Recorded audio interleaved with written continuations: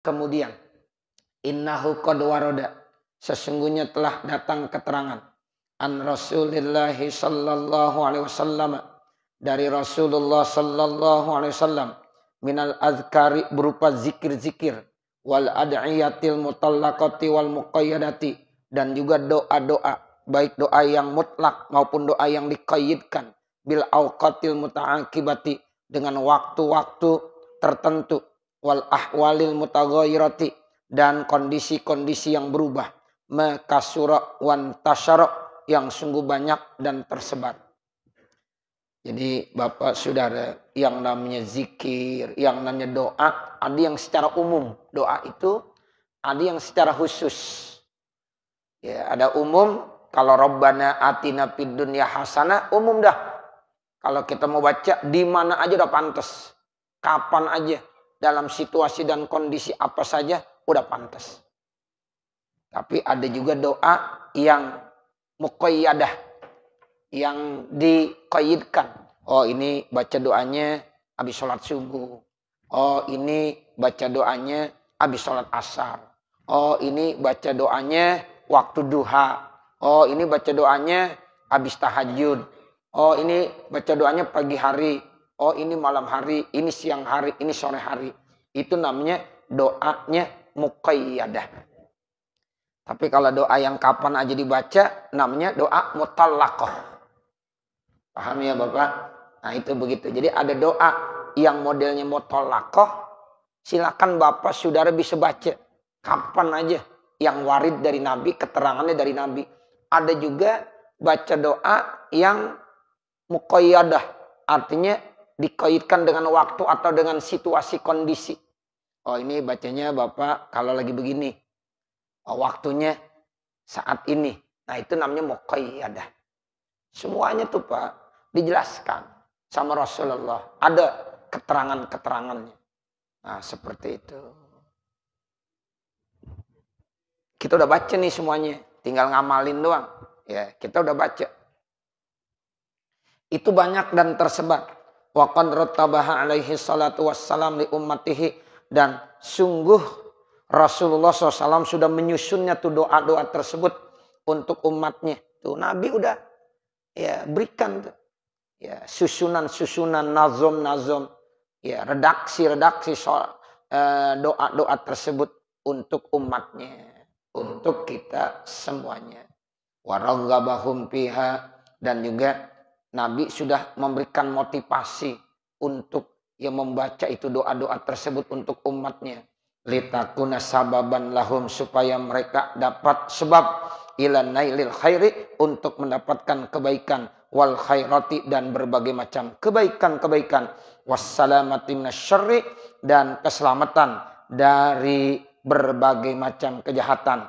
Wal apati dan berbagai macam penyakit al-waqi'ati yang terjadi bimasyiatillah semuanya itu dengan kehendak Allah Subhanahu wa taala. Fitil kal ahwali wal auqat dalam situasi dan waktu tersebut. Situasi kondisi dan waktu tersebut. Jadi artinya Bapak Saudara Ya, kalau kita baca itu doa-doa tersebut yang memang sudah diajarkan oleh Rasulullah dan dianjurkan oleh Rasulullah, mudah-mudahan nanti menjadi sebab ya kita sebagai umatnya akan mencapai nilai-nilai kebaikan.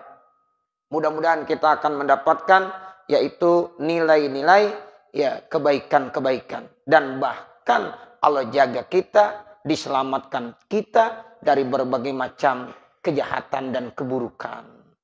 Ya, penyakit-penyakit, musibah-musibah yang itu terjadi tidak lepas dari kehendak Allah Subhanahu wa taala.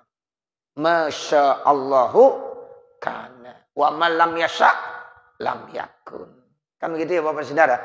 Apa yang Allah kehendaki akan terjadi. Tapi kalau Allah nggak kehendaki, tidak akan terjadi. Ya, itu begitu. Masya Allahu kana wa malam yasha lam yakun. Atau Allah bilang, Iza aradallahu syai'an ayyakula lahu kun fayakun. Itu begitu. Apabila Allah ingin menghendaki terhadap sesuatu, gampang. Allah tinggal bilang kun fayakun. Cuma dua huruf kun kap sama nun, ya kan? Kun itu kap sama nun. Fayakun akan terjadi. Tuh, makanya baca tuh doa-doa tersebut yang udah warid dari Nabi, yang udah diajarkan oleh Rasulullah dan itu menjadi sebab kita akan mendapatkan nilai-nilai kebaikan dan dilindungi dari berbagai macam penyakit, musibah, ya apa saja dah yang dikehendaki oleh Allah Subhanahu wa taala dalam situasi, kondisi dan waktu kapan saja. Tinggal lihat nih doa apakah doa yang mutlakoh atau doa yang muqayyadah. Gitu. Kalau yang mutlakoh yang tadi saya bilang bebas kapan aja dibaca. Kalau muqayyadah, nah ini dikoyitkan. Oh ini bacanya waktu lagi begini. Nah begitu. Ini bacanya pagi. Nah, ini sore. Ini siang. Ini malam. Nah itu namanya muqayyadah. Jadi udah paham ya Bapak Saudara. Ya dari apa yang kita baca semuanya. Ini insya Allah tinggal pengamalan saja. Faman hafazu alaiha maka siapa yang menjaga memeliharanya naja wasalima maka dia akan selamat. Siapa yang akan memeliharanya, menjaganya nih doa-doa yang dari Rasul sudah dijelaskan, insya Allah dia akan selamat. Wapaza, paza itu artinya apa? Beruntung. Dia akan mendapatkan keberuntungan. Wa sama. Naja sama salima sama artinya. Paza sama ghanima sama artinya. Selamat dan beruntung. Waman farrata fiha wa ahmalal amala biha. Siapa-siapa yang melalaikannya kemudian suka ya meninggalkan tuh amalan-amalannya. Ya ada orang nggak peduli ya nggak mau memperhatikan cuek aja lalai nggak mau berdoa. Ya lebih-lebih di saat-saat saat-saat sekarang ini yang perlu banyak kita doa baca wirid baca zikir dan lain lain sebagainya kita menjauh, lalai dari situ. Kita ihmalkan, kita ya kosongkan saja diri kita dari amal-amalan begitu. Kata pengarang kitab Al-Habib Abdul Al-Haddad, "Fala yalumanna illa nafsah." Maka jangan ngomelin kalau terjadi apa-apa kecuali dirinya. Kalau nanti terjadi pada dirinya ya sesuatu yang tidak baik, jangan ya nyalain siapa-siapa kecuali salahinlah dirinya sendiri. Itu maksudnya pala yalumanna illa nafsah begitu. Masya Allah. Itu tuh kelihatannya satu ya bentuk ancaman juga. Awas. Kalau kamu udah diajarin menabi suruh baca doa ini, baca doa itu, zikir-zikir, satu pun gak ada yang dibaca dari sekian banyak doa zikir ya yang Nabi ajarkan 24 jam tapi satu pun kita nggak ada yang baca kalau terjadi apa-apa dalam diri kamu, jangan salahkan siapa-siapa. Kecuali salahkan dirinya sendiri. sendiri. Wa ma rabbuka bizallamil lil abid. Dan tidaklah sekali-kali Allah Tuhan kamu itu berbuat zolim ya kepada hambanya. Allah nggak pernah zolim Bapak kepada manusia. Allah nggak pernah zolim kepada kita sebagai hamba-hamba Allah Subhanahu wa taala. Tetapi yang zolim kita sebenarnya. Tuh. Jadi jangan sekali-kali kita nyalain Allah. Wa ma rabbuka bizallamin lil abid. Tidak sekali-kali Tuhanmu Allah Subhanahu wa taala zalim ya itu akan menganiaya kamu. Enggak pernah. Allah begitu adil, Allah begitu sayang kepada manusia. Yang suka berbuat zolim kita. Kita yang selalu zolim kepada diri kita sendiri. Makanya kalau Allah menyiksa, ya Allah mengazab, itu bukan karena Allah zolim kepada hambanya. Tapi itu karena kesalahan hambanya sendiri. Makanya kita sering baca. Zalamna anfusana wa illam taghfir lana wa tarhamna lanakunanna minal khasirin. Itu kita selalu baca itu dan ini diabadikan. Ya, redaksi doa ini diabadikan di dalam Al-Qur'an. Nah, makanya kita suruh baca Rabbana zolamna anfusana wa illam taghfir lana wa tarhamna lanakunanna minal khasirin. Bahkan diperkuat lagi dengan ayat yang lain. La ilaha illa anta subhanaka inna inni kuntu minal zalimin. La ilaha illa anta subhanaka inni kuntu minal zalimin. Kalau kita banyak la ilaha illa anta subhanaka inna kunna minal zalimin. Ini doa yang disampaikan dan diabadikan di dalam Al-Quran. Kalau Rabbana zolamna anfusana wa illam taghfir lana wa tarhamna lanakunanna minal khasirin doa Nabi Adam. Kalau kita baca la ilaha illa anta subhanaka inni kuntu minal zalimin, doanya Nabi Allah Yunus alaihi salam. Nah, itu yang harus kita banyakin baca karena kita tahu kita suka zolim kepada diri kita sendiri. Nah, kalau Allah nggak pernah zolim. Wa ma rabbuka bizallamin lil abid. Jadi tidak sekali-kali Allah Tuhan kamu berbuat zolim kepada hambanya. Jangan nyalain al Allah. Tuh begitu.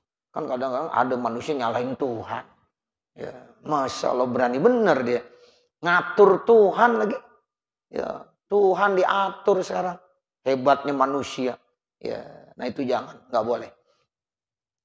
Wa qad jama'al Imamun Nawawi rahimahullahu fi kitabil azkar dan sungguh Imam Nawawi telah mengumpulkan ya doa-doa tersebut fi kitabil azkar dalam kitabnya Al Azkar lahu jumlatun mustaksiratun yang cukup global banyak min zalika dari yang demikian itu. Wa damma ilahi dan dia telah mengumpulkannya minal idohi wal bayan serta dijelaskan diterangin. Wanapa isil ahkam dan hukum-hukum yang begitu indah. Wa muhimmatil fawaid dan juga manfaat-manfaat yang cukup penting mayat ma'innu bihil qalbu yang hati itu menjadi tentram wayan sorihulahu sadru dan dada menjadi luas tuh, makanya saya baca tuh kalau hari Selasa subuh ya di At-Tahir itu ya jamaah dari Majlis Ta'lim At-Tahri Al-Muplihun ya banyak Zaid ngaji tuh Zaid ya. Nah, begitu kalau hari Selasa. Nah, itu alhamdulillah. Ya, jadi itu saya baca Al-Azkar, buah karya daripada Imam Nawawi. Ya, itu di Masjid Jami'at Tahri. Tadinya saya baca di rumah. Nah, setelah ada Covid, saya pikir ya lebih luas lagi ada tempatnya supaya ada jaga jarak. Nah, ini alhamdulillah ya terus ya dibaca di eh, setiap Selasa subuh buah karya Imam An Nawawi dan cukup bagus Bapak Saudara itu kitab Al Azkar namanya kitab Al Azkar makanya ada satu bahasa yang bilang begini ya bi'idar wastaril azkar jual rumah beli kitab Al Azkar kalau kita kagak punya kitab nggak punya duit, jual rumah dah buat beli kitab Al-Azkar. Itu begitu Ustazah ini. Ya, sampai disuruh jual rumah beli kitab Al-Azkar.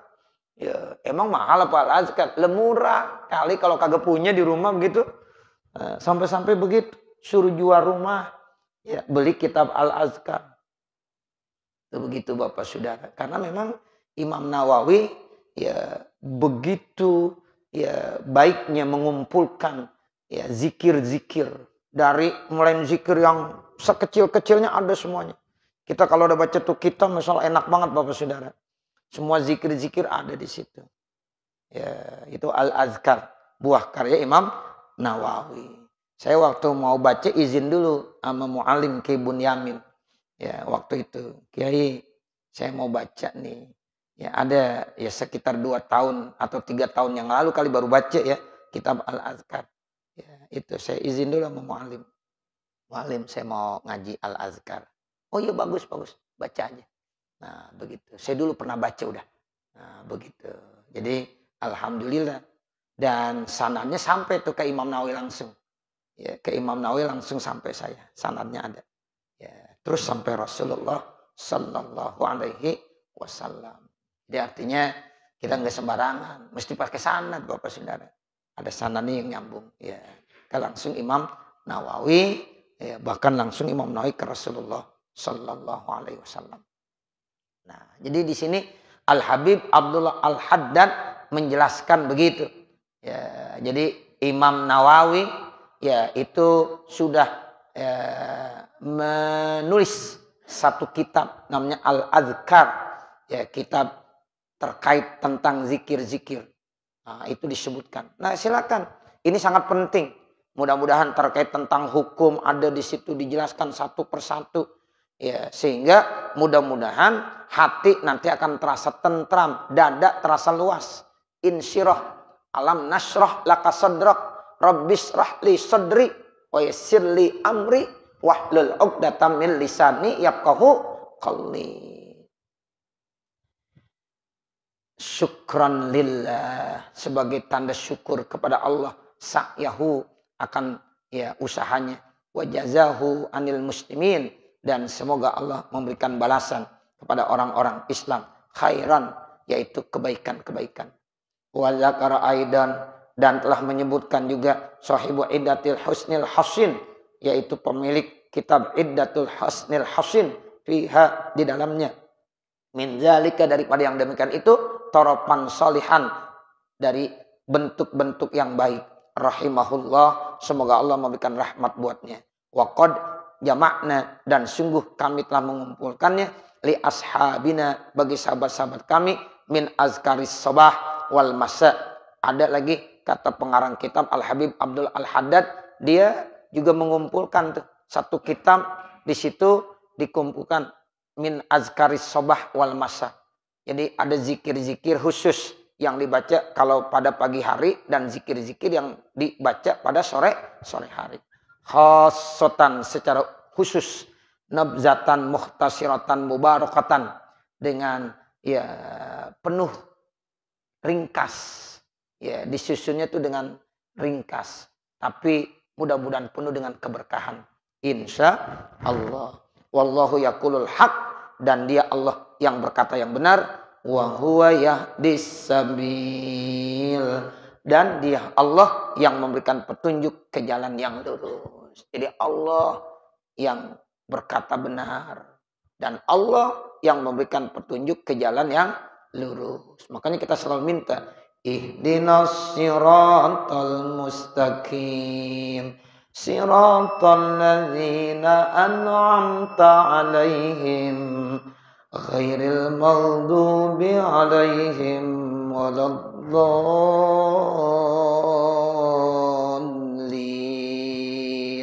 Itu kita minta tunjukkanlah kepada kami jalan yang lurus. Jalan yang lurus itu jalan yang mana kata Allah? Jalan orang yang telah engkau berikan nikmat atas mereka. Bukan jalannya orang-orang yang dimurkai dan bukannya jalan orang-orang yang sesat. Siapa mereka yang dimurkai dan yang sesat? Tidak lain mereka adalah orang-orang Yahudi dan orang-orang Nasrani. Jadi kita selalu minta tuh tiap hari ya jalan yang lurus. Yang memberikan jalan yang lurus siapa? Allah. Nah, wallahu yaqulul haq wa huwa yahdis sabil. Nah, selesai dah tuh Bapak Saudara. Wa'lamu ma'asyiral ikhwan dan ketahuilah wahai segenap saudara-saudaraku ja'alanallahu wa iyyakum minal qawamina bil qisti al amirina bihi semoga Allah Subhanahu wa taala menjadikan kepada kita dan juga menjadikan kepada kamu dari orang-orang yang senantiasa menegakkan keadilan al amirina yang senantiasa memerintahkan keadilan. Annal amra bahwasanya al amra bil ma'ruf amar ma'ruf wan nahi anil munkar nahi munkar min a'zami sya'iriddin merupakan syiar-syiar agama yang paling agung. Wa ahammil muhimmati dan sesuatu yang paling penting alal mukminina terhadap orang-orang yang beriman. Jadi bahasan kita udah beda lagi nih, udah pindah.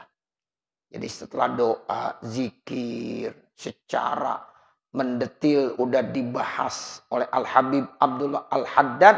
Nah sekarang kita ya akan membahas terkait amar ma'ruf nahi munkar. Jadi babnya udah beda ya Bapak, Saudara. Sekarang kita udah masuk bab amar ma'ruf nahi munkar. Ini penting amar ma'ruf nahi munkar. Karena amar ma'ruf nahi munkar merupakan satu-satunya syiar agama yang paling agung dan merupakan hal yang paling penting yang harus dilakukan oleh orang mukmin. Jadi kalau agama sudah tidak mau amar ma'ruf nahi munkar, wah bahaya. Kalau orang mukmin sudah tidak mau lagi melaksanakan tugas yang mulia ini amar ma'ruf nahi munkar, bahaya Bapak Saudara. Tuh, makanya kita ini punya tugas nih semuanya. Tugasnya apa? Amar ma'ruf nahi munkar. Jangan sampai kita ya cuek, lalai, masa bodoh. Makanya kegiatan majlis taklim yang ada di masjid ini termasuk salah satu bentuk amar ma'ruf nahi munkar yang dilakukan dan difasilitasi oleh pengurus masjid beserta jamaahnya. Ya, itu begitu. Coba kalau seandainya masjid udah nggak mau lagi ngadain pengajian, jamaah-jamaahnya udah cuek, nggak mau lagi ngadain pengajian, berarti sama aja udah menstop kegiatan amar ma'ruf nahi munkar. Makanya ayo Bapak Saudara, selama kita masih kuat, masih sehat, masih ada kesempatan waktu, kita isi ya kegiatan taklim. Karena ini salah satu bentuk amar ma'ruf nahi munkar. Sehingga nanti kita bisa pertanggungjawabkan di hadapan Allah ya Allah. Ya, saya ya hanya bisa ini ya Allah. Tapi ini merupakan salah satu bentuk amar ma'ruf nahi nahi munkar. Itu begitu. Kegiatan-kegiatan agama yang dilakukan ya di masyarakat itu juga termasuk amar ma'ruf nahi munkar. Ada maulid ya sehingga dalam maulid itu ada forum di mana ya mubalik menyampaikan dakwahnya. Itu namanya forum amar ma'ruf nahi munkar. Ya, jadi kalau seandainya masyarakat udah nggak mau lagi bikin maulid, ya repot. Nanti ya forum dakwah amar ma'ruf nahi munkarnya di mana? Ya, udah nggak ada. Nah, jadi kalau yang rutinitas pengajian. Kalau yang insidental itu biasanya maulid, Isra Mi'raj atau kegiatan-kegiatan yang lain. Ya, itu mesti karena ini termasuk daripada apa? Daripada kegiatan-kegiatan yang diperintahkan oleh Allah. Bahkan termasuk min a'zami sya'iriddin. Itu. Kemudian yang kedua, wa ahammil muhimmati alal mu'minin. Wa qad amarallahu bizalika dan sungguh Allah telah memerintahkan hal itu fi kitab di dalam kitabnya. Allah perintahkan amar ma'ruf nahi munkar dalam Al-Qur'an. Wa ala lisani Rasulullah sallallahu alaihi wasallam dan melalui lidah rasulnya Nabi Muhammad sallallahu alaihi wasallam wa hassa alaihi wa raghaba fihi bahkan dianjurkannya dikasih motivasi kita wasaddada fitarkih bahkan ada ancaman kalau meninggalkannya kalau kita ninggalin amar ma'ruf nahi munkar diancam Bapak Saudara. Misalnya ini ada pengurus baik di masjid di musola yang bilang, "Ya Ustaz, habisnya ngaji dikit banget, udah tutup aja dah ya." Nah, nggak boleh. Kita harus sabar. Ya, harus sabar. Membina umat itu perlu kesabaran. Tuh, yang namanya ngaji Pak perlu dielus-elus mulu, ya. Itulah iya benar. Ya, sebab Pahit pak, orang ngaji itu pahit. Nah, begitu. Jadi repot. Makanya ada satu ya pengurus yang eh, nanya Ustaz, ya Allah bagaimana ini yang ngaji? Ya, ya nggak apa-apa, jalanin aja. Nah seperti itu. Tapi ada di satu tempat pengajian rame banyak. Ya. Ada yang di satu tempat pengajian bisa dilihat cuma atuk dua. Ya. Ada yang begitu. Ya, jadi memang tergantung masyarakat yang ada di sekitarnya. Ya kadang-kadang ada masyarakat yang udah melek ama agama. Ya itu mau aja kegiatan kegiatan. Ada lagi yang udah males banget. Ya udah ogah aja dah. Ya itu begitu. Nah ini kesabaran bagi kita sebagai pengurus, sebagai ustadz, sebagai guru harus istiqomah. Makanya saya dulu pernah dipesan sama orang tua saya. Ya awal-awal tuh elu kan ngomongnya elu aja ngomongnya ya namanya orang Betawi ya begitu iya Begitu aja. Lu kalau udah mau ngaji nanti, kalau udah ngaji, terjun di masyarakat, tolong sabar. Ya. Dan jangan males. Jangan males. Kecuali sakit kali. Datang, walaupun cuma berapa menit datang. Walaupun lagi ada acara, datang juga walaupun berapa menit. Nah itu yang saya selalu jaga benar pesan beliau, orang tua saya, guru kita semuanya. Ya, itu begitu. Jadi saya alhamdulillah sejak tahun 2000 Pak, yang benar-benar memang udah ya terjun di masyarakat sejak tahun 2000 sampai saat ini, alhamdulillah yang namanya ngaji jangan nungguin libur sama saya. Pak. Ya, Ustaz ngaji kapan sih libur? Lu enak aja ngaji pakai libur, emang sekolah. Ya, gitu. Kecuali kalau memang sakit. Ya, kalau sakit uzur dah. Gitu. Atau waktu itu saya lagi umroh tuh. Ya, biasanya lagi ada kegiatan umroh.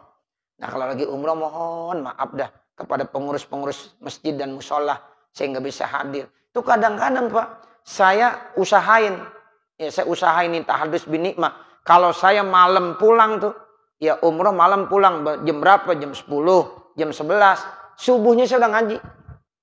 Subuhnya saya ngaji lagi. Tuh, tuh alhamdulillah. Kemarin-kemarin saya lakukan begitu tuh. Ya, saya bilang, ya Allah jangan sampai ya pesan dari orang tua saya ini saya langgar. Nah, begitu. Ya Allah, jam 10 baru pulang umroh. Paginya, ya kadang-kadang ada tamu datang. Lah ustaznya mana? Udah ngajar ya udah ngaji nah, seperti itu nah itu yang saya lakukan masya Allah bapak saudara ya jadi kita emang harus begitu. Ya. Jadi kita kalau udah memang benar-benar terjun di masyarakat ayo Bismillah Bismillah. Lagi musim hujan ya emang lagi musim hujan ya arin pakai payung. Kadang-kadang saya naik motor diboncengin tuh sama Jibasi atau sama Yazid ya. Kadang-kadang pakai pakai payung aja. Ya nggak apa-apa. Ya, itu begitu. Ya kalau musim hujan libur ya, ya libur mulu ntar. Ya, biasanya kan ngaji kalau udah libur sekali besok pengen libur lagi. Bener nggak begitu? Iya, kita kalau udah mulai males sekali jadi nggak datang nih. Besok kepengen lagi nggak datang. Itu pesan orang tua saya begitu. Lalu kalau udah sekali nggak ngaji, besok ntar pengen kagak datang lagi. Oh begitu.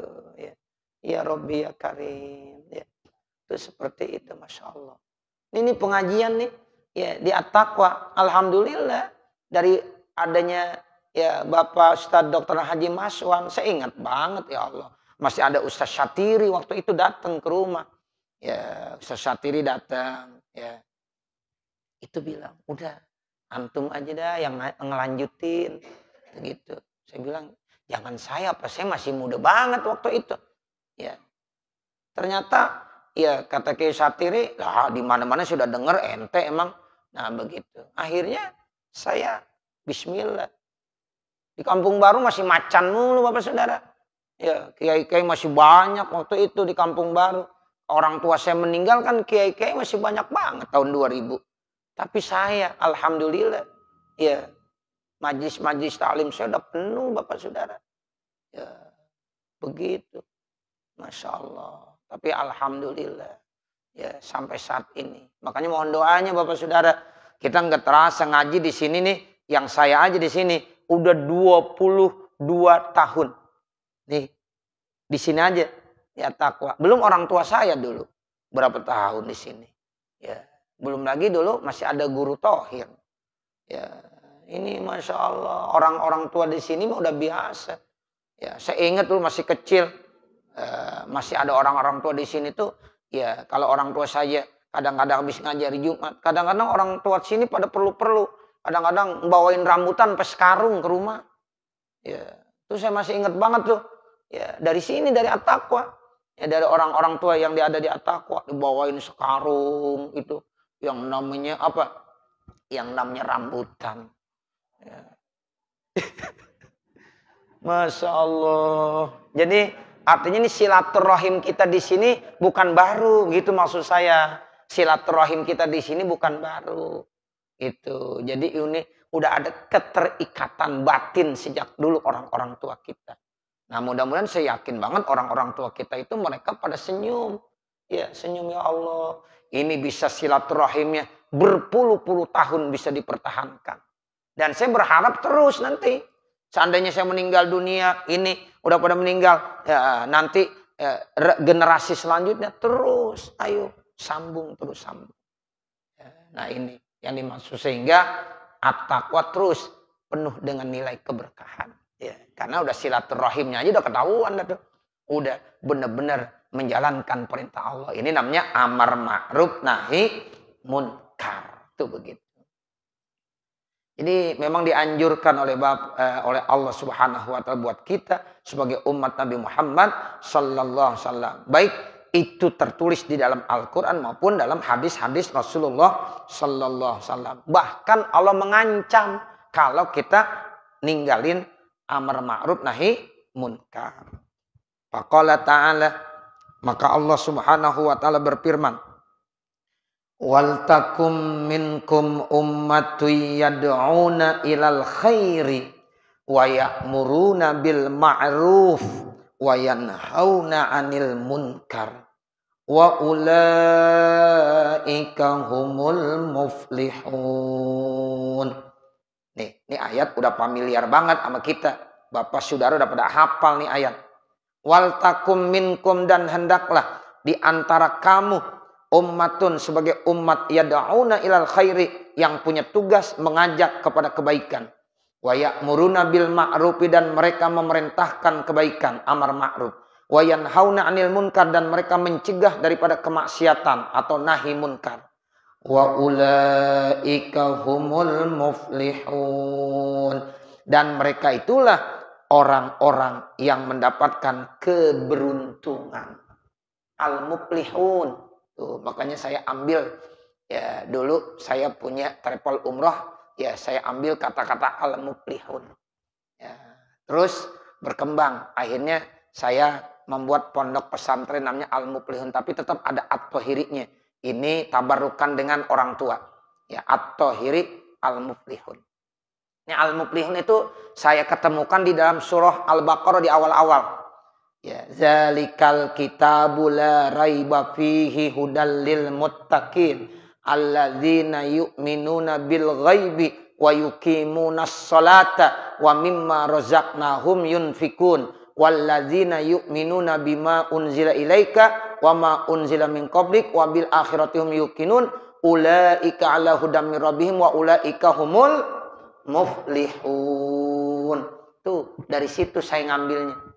Ya. Saya waktu ditanya kira-kira ini namanya apa? Saya baca surah-surah awal daripada Al-Baqarah. Nah ini ketemu nih. Nah, Al-Muflihun. Makanya At-Tohiri Al-Muflihun. At-Tohiri tafaulan. Kita ngambil tabarukan dari orang tua kita. Yaitu At-Tohiri guru Tohir. Nah, kemudian Al-Muflihun. Ya ini ngambil dari surah Al-Baqarah supaya menjadi orang beruntung. Juga ada yang kedua saya ambil.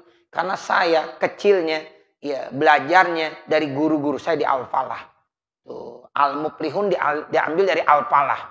Kalau kita baca kosakata Al-Muflin dari kata falah, falah. Falah itu ya Al-Falah. Nah, gitu, keberuntungan. Gitu. Makanya dari kata Al-Falah jadi Al-Muflihun. Karena anak dari Al Al-Falah. Tuh begitu Bapak Saudara. Ya, jadi enggak sekedar nama. Jadi kalau ditanya, eh, kenapa namanya At-Tahiri Al-Muflihun? itu punya makna tersendiri. Nah itu begitu. Ya, jadi mudah-mudahan yang mau senantiasa memberikan bantuan doa, ya, nah itu mudah-mudahan insya Allah menjadi orang yang muplihun, menjadi orang yang beruntung, beruntung. Itu seperti itu. Ya, dan al muplihun ini akar katanya dari al falah, falah, ya keberuntungan. Hayya alal falah, kita disuruh nyari keberuntungan. Dan memang saya sejak kecil ngajinya di Al-Falah. Guru saya, saudara saya, orang tua saya, encang-encing saya, semuanya memang ya pendiri-pendiri yaitu Al-Falah. Nah seperti itu. Makanya ya ini tidak lain perluasan dari Al-Falah. Jadi saya berharap ya, di masa-masa yang akan datang ini Al-Muflihun bisa ya terus berkembang. Bukan di Jakarta. Kalau di Jakarta udah ada Al-Falah, tapi kita cari tempat lain supaya untuk mengembangkan misi daripada Al-Falah ini. Begitu Bapak Saudara. Ya, alhamdulillah Ya, nah ini jadi at-tahiri al al muflihun. Nah, seperti itu namanya. Nah, ini diambil juga sama wa ulaika humul muflihun dan mereka itu termasuk adalah orang-orang yang beruntung. Wa qala ta'ala dan Allah Subhanahu wa taala berfirman, "Kuntum khaira ummatin ukhrijat linnas ta'muruna bil ma'rufi wa tanhauna 'anil munkar wa tu'minuna billah. Kuntum khaira ummatin kamu itu adalah sebagai umat yang terbaik ukhrijat linnas yang dikeluarkan. Ya kamu itu linnas untuk manusia. Ta'muruna bil ma'ruf yang tugasnya amar ma'ruf wa tanhauna 'anil munkar dan mencegah daripada kemungkaran Waktu minu billah dan kamu harus beriman kepada Allah. Jadi Bapak, Saudara, dari ayat ini kita bisa ambil kesimpulan kita ini dilahirkan sebagai umat yang terbaik. Saya ulangi, kita dilahirkan di permukaan bumi ini dijadikan sebagai umat yang terbaik. Bersyukur nggak kita? Bersyukur. Kuntum khaira ummah. Kamu dilahirkan di dunia ini sebagai umat yang terbaik. Sebagai manusia yang terbaik. Umat Nabi Muhammad. Kita semuanya dijadikan sebagai umat yang terbaik. Tapi harus memenuhi persyaratan. Syaratnya apa? Kita dijadikan sebagai umat yang terbaik. Satu, tak bil ma'ruf. Kamu harus amar ma'ruf. Yang kedua, ya watan hauna anil munkar. Kamu harus nahi munkar. Yang ketiga, waktu minu nabilah. Kamu harus beriman kepada Allah. Ini syarat tiga ini harus kita miliki. Kalau tiga syarat ini kita nggak miliki, ya nggak jadi kita sebagai umat yang terbaik. Ya. Jadi syarat yang pertama beriman kepada Allah. Kalau kita nggak beriman, ya nggak jadi manusia yang terbaik.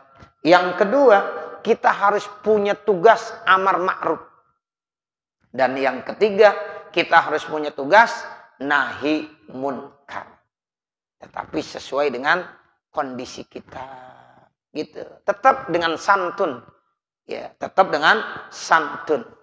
Wa ma arsalnaka illa rahmatan lil alamin.